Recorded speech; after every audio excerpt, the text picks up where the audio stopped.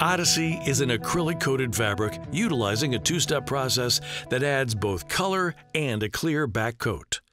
This delivers a fabric that is characterized by impressive strength, durability, abrasion resistance, dimensional stability, and water resistance for a product at this price point.